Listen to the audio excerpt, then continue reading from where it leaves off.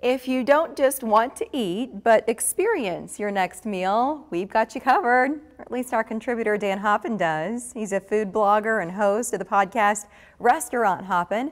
This round, Dan's sharing mouth-watering pics, including burgers, sushi, and even ribs reminiscent of the Flintstones. So obviously Omaha just has a ton of incredible restaurants that you can just go to any night of the week, any day of the year and have a fantastic meal. But there are some places that offer special experiences that are only available every once in a while or they're private dinners or something like that. But any foodie worth their salt needs to get in and check these out. Okay, so to read more from Dan, search Hoppen on 3newsnow.com.